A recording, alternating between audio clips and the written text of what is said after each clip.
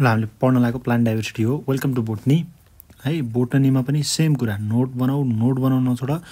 र मैले गराइदिएको क्वेसन पनि सेम टु सेम क्वेसन लेख तर एन्सरलाई टिक नलाऊ एन्सरलाई तलपट्टि लगाऊ रिभिजन गर्दाखेरि एन्सर आफैले ट्राई गर। है त? गराएको क्वेसन्सबाट कतिवटा क्वेसन आउँछन्? इक्जाम पछि मलाई भन्नु। है त यतिवटा क्वेसन आयो दाइ भनेर अहिले ह्याप्पी हो? केही साइन्टिस्टहरूको नाम पढ्छौँ हामीले एक नम्बरमा एक नम्बरमा सबैभन्दा पपुलर नाम भनेको क्यारोलस लिनानस हो। पुरै स्पेलिङ राम्रो नलेख्नुमा म लेख। है तिमी क्यारोलस लिनानस हो लेखेर बुझ्छौ भनेर केही पनि बोलाएन म। केही पनि बोलाएन भन्नाले मजाले लगिरहेको छु। क्यारोलस लिनानसले के कोइन गरेको अरे ट्याक्सोनोमी कोइन गरेको। हो? स्पेसिस स्पेसिस प्लान्टरम अथवा सिस्टमिनाचुरा भन्ने एउटा ऊ गरेको। हो? सबभन्दा मेन भनेको यसको यसले ट्याक्सोनोमी क्लासिफाई गरेको। है त द र यहीसँग यसले यसले के गर्ने? Binomial system of nomenclature. Binomial system of nomenclature भनेको के हो? यो होमोसेपियन्सलाई ह्युमन भन्छ ह्युमनलाई होमोसेपियन्स भन्छ। यो यही दाइले दिनुभएको रहेछ। हो? अर्को हेर। सेकेन्ड नम्बरको भनेको एरिस्टोटल एरिस्टोटलको एरिस्टोटल के हो अरे हाम्रो? एरिस्टोटल बाजे हो। बा भनेको त father of biology zoology embryology र अर्को फादर अफ जोलोजी पनि भन्छ यसलाई। Father of botany Aristotle father of zoology र इम्ब्रोलोजीको फादर के हो अरे? एरिस्टोटल यस्तै गरी लेख मैले चाहिँ लेखेको छैन है। फादर अफ यो यो बायोलोजी यो फादर अफ भयो भनेपछि दाइ फादर अफ बोटनी पनि कोही होला नि? फादर अफ बोटनी पनि कोही होला नि? यो मेरो म ऊ पढ्दाखेरि एकदमै धेरै क्वेसन आउँथ्यो यो। के अरे नेममा? थियो पेस्ट्रेस्ट हो त। थियो पिएचआरएएसटियुएस थियो पेस्ट्रेस्टस हो? अब सँगसँगै थ्री नम्बरमा यो बिपीको पास्ट क्वेसन हो। जुन भनेको जोन रे जोन रेले के कोइन गरेको थियो भनेर सोध्छ। जोन रेले स्पेसिस भन्ने टर्म कोइन गरेको थियो। है फर्स्ट कुरा एकदमै इम्पोर्टेन्ट कुरा भनेको यो यदि तिनवटा साइन्टिस्ट एकदमै इम्पोर्टेन्ट हुन् चारवटा साइन्टिस्टहरू पाँच छवटा साइन्टिस्टको नाम लेख्छु म। चारवटा साइन्टिस्टको चारवटा चार चार नम्बरमा के भयो? लुइस पास्सर हेर त। लुइस पास्सर भन्ने दाइ हुनुहुन्थ्यो। कहाँ कहाँ काम लाग्छ भने? बोटनी जोलोजी जहाँ पनि काम लाग्छन् है। त्यही भएर तिमीहरूको क्वेसन मिलोस् भनेर भाइ बहिनीको क्वेसन मिलोस् भनेर मैले सबै यहीँ सिकाइदिएँ। लुइस पास्टरले के गरेको थियो भन्दाखेरि जम थ्योरी अफ डिजिज दिएको थियो। जम थ्योरी अफ डिजिज दिएको हो? अब सँगै विन्सम्यान भन्ने साइन्टिस्टले दिएको थियो जसले के थियो? जम प्लाजम थ्योरी भनेर दिएको हो? यी कुराहरू नर्मल सिम्पल कुराहरू हुन्। हो? सिम्पल कुराहरू हुन्। अब यहीसँग हेर त। यहीसँग एउटा अर्डर हुन्छ। हो? के हुन्छ भन्दाखेरि अनि family get sick kingdom division हो है डिभिजन र है फर्स्टमा के हुन्छ भन्दाखेरि मैले चाहिँ सर्टकट बिर्सेछु। Kingdom division class order family genus species हो?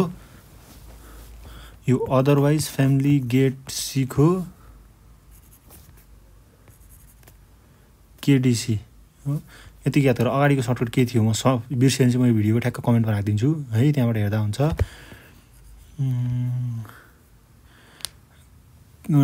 डन्ट क्लिन डिसेस इन अँ यस्तै के छ र? डन्ट क्लिन डिसेस कि? Don't clean don't clean dishes in river otherwise family get sick भन्ने छ। गेट सिक जिनस स्पेसिस हो। है?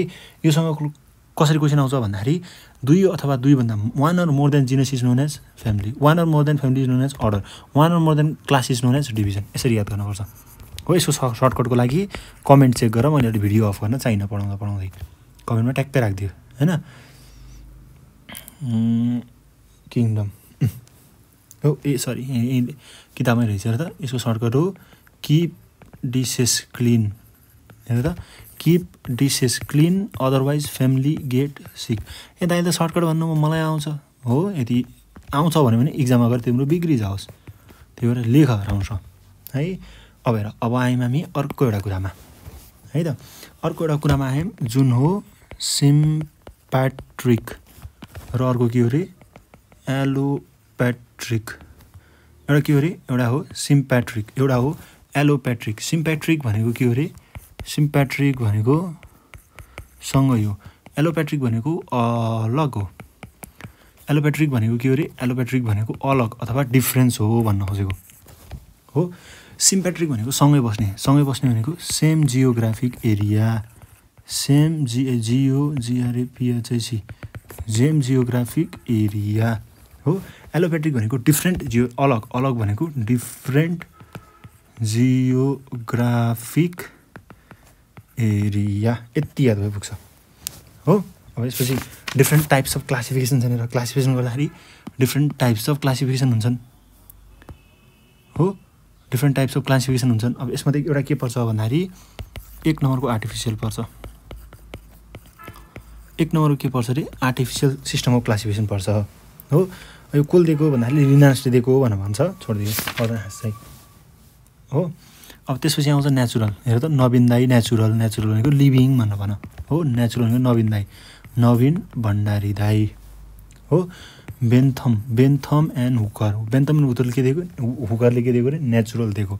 सँगै फाइलोजेनेटिक भनेको फाइलोजेनेटिक भनेको सधैँ के हो अरे फाइलोजेनेटिक भनेको सधैँ फोसिलसँग रिलेटेड हो। है त? यो कसले दिएको भन्दाखेरि खै कसले दिएको? डार्विन सार्ले दिएको भनेर भनेको छ हो? अनि एउटा क्लाडिस्टिक्स भन्ने टर्म छ हेर त यसले लेखायो त्यसलाई। क्लाडिस्टिक्स भन्ने टर्म छ जसले इभोल्युसनरको रिभोल्युसनलाई डिटर्माइन गर्छ इभोल्युसनको इभोल्युसन्सको इभोल्युसनरी ट्रीसँग रिलेटेड हुन्छ यो। है बुझ्यो भयो पनि। अब आऊ अब डिफ्रेन्ट किङडम सिस्टम दुईवटा कुरा मात्रै बाँकी छ। अब डिफ्रेन्ट किङडम सिस्टम क्लासिफिकेसन छन्। एउटा छ टु किङडम सिस्टम एउटा छ थ्री सब सर्टकटसँग पढाउँछु हेर एउटा छ फोर एउटा छ फाइभ फाइभ त लेटेस्ट हो लेटेस्टमा को? विटिकर यो नामै सुनेको थिएन दाइ भनेपछि यसले विन गर्यो अहिलेको यो सिस्टम हेर त विन गर्यो विन गर्यो भनेपछि विटिकरले है त? टु सिस्टम टु भनेको सबैभन्दा पुरानो पुरानो बुढोको बुढा पुरानो बुढो हो। लिनस होइन यो त बिर्सिन्छु म दुइटा एन छ त्यो टु सिस्टम क्लासिफिकेसन भनेर याद गर्दा हुन्छ। है त? अब अब एउटा एउटा इन्डियन टिचर हुनुहुन्छ एकदमै लेजेन्ड टिचर हुनुहुन्छ है फिजिक्सवाला सरले बोलाउनु भएको थियो। सरको नाम हो एचसी भर्मा सरको नाम के अरे एचसी भर्मा हो। एच भनेको के हो? एच भनेको अगाडि आउँछ। ह्याक्कल सी भनेको के अरे सी भनेको कपल्यान्ड अरे। कस्तो सजिलो भयो। अब यसपछि एउटा एक्स्ट्रा क्वेसन के सोध्न सक्छ? के एड भयो बाबु भनेर सोध्न सक्छ। के अरे के एड भयो भनेर सोध्न सक्छ हेर्दा। फाइभमा के एड भयो? फङ्गै एड भयो। हो? हेर सुरुबाट सुरुबाट पढ्दा। हो? यसमा के भयो भन्दाखेरि यसमा त दुइटा हुन्छ। एउटा प्लान्ट हुन्छ एउटा एनिमल हुन्छ। हो? त्यसपछि के हुन्छ यसमा के हुन्छ अरे प्रोटिस्टा यो कसरी याद गराउँदाखेरि प्रो भनेको सधैँ पुरानो कुरा हो कि नै? सुरुमा आयो। हो? यसपछि के हुन्छ अरे मोनेरा हुन्छ। यसपछि के हुन्छ अरे यो के अरे मोनेरा हो। यो के हुन्छ अरे मोनेरा हुन्छ। अरे त्यहाँ protista monera fungi plantae animal है यो सबै याद हुनपर्छ सोधेको हुन्छ सबै क्वेसन्सहरू। सायद यस्तो मजाले यसरी कसैले पनि पढाइदिनु होला। है हेर सबै राम्रोसँग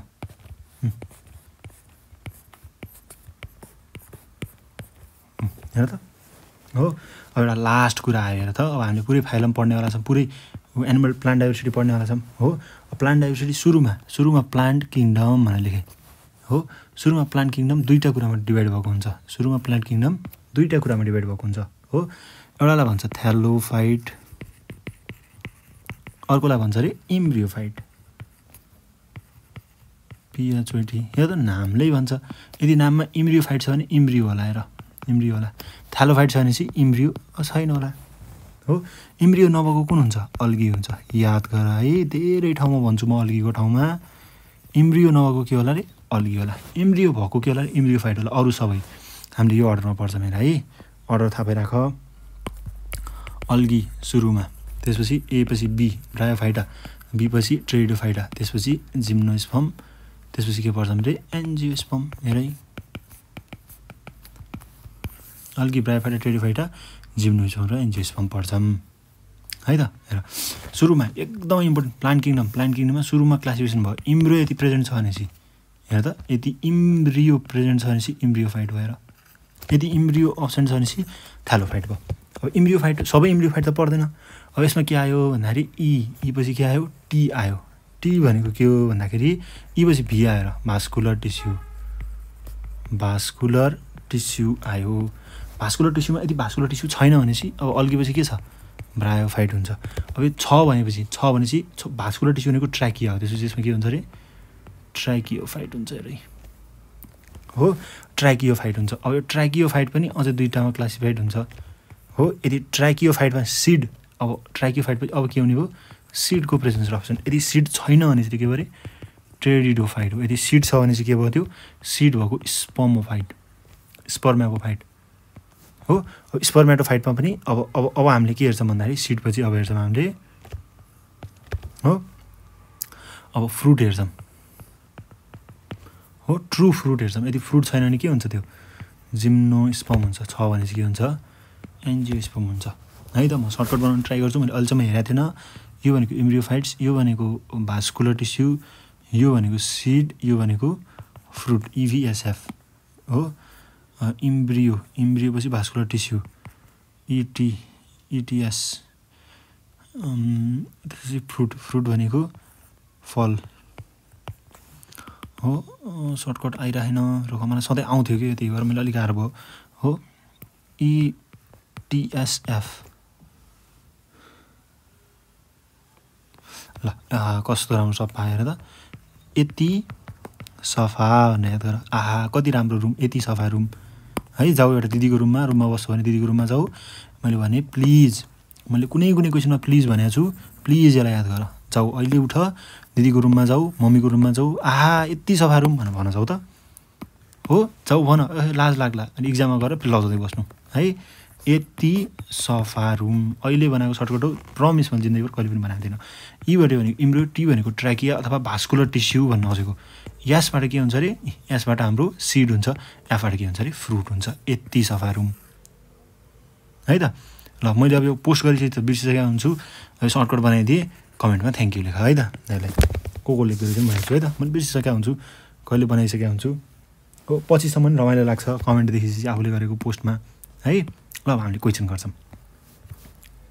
ल a plants which produce seed seed भनेको स्पर्मेटोफाइट भयो ल्याक फ्लावर लास्टको एउटा जिन्मेस हुँदै थियो नि है?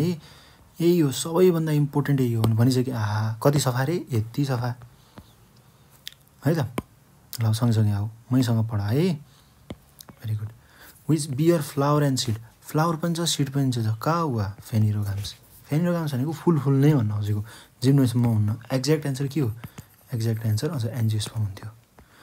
भास्कुलर हुनु पऱ्यो। तर क्रिप्टोगाम्स क्रिप्टोगाम भनेको फुल नफुल नै भन्न खोजेको के भयो? ट्रेडोफाइट भयो एन्सर है त भास्कुलर छ ट्रेडोफाइट माथि हेर त। यहाँ। भास्कुलर छ ट्रेडोफाइटी भास्कुलर छ तर फुल फुल्दैन। फुल फुल्दैन यसलाई के भन्ने भयो? यसलाई भन्ने हो। क्रायोफाइट्स सजिलो।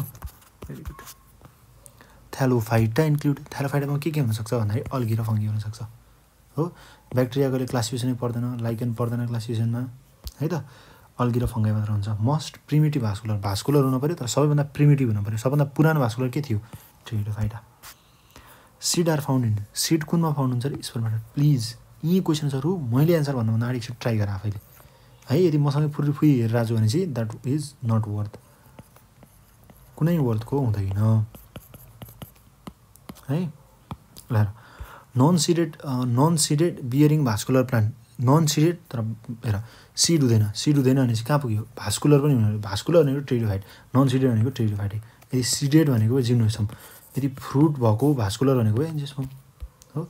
Classification of organism based on the evolution and genetic relationship cladistics भनिसकेको छु मैले है त? In five system of classification prokaryote प्रोक्यारिटीमा केमा केमा हुनसक्छ? है? प्रोक्यारिटी माइ कोटामा हुन्छ। मोनेरामा हुन्छ। प्रोक्यारिटी केमा हुन्छ अरे मोनेरामा।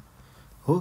Which is not including the classification Whittaker Whittaker दाजुले केलाई गर्नु भएन? विटेकर दाजुले ती पाँचवटा कुरालाई गर्नुभयो। यी भाइरस भाइरस ब्याक्टेरिया गर्नु भएन। सबै भनेको भाइरसै हो त। ओभरअल र एन्सर अल हो। फेरि भने यदि एन्सरमा अल छ भने चाहिँ क्वेसनमा अप्सनमा अल छ भने चाहिँ नाइन्टी पर्सेन्ट एन्सर अल हुन्छ। एक्चुली अल एन्सर लाउने अनि माथितिर हेर्ने कुन राइट हो भनेर। है थ्याङ्क यू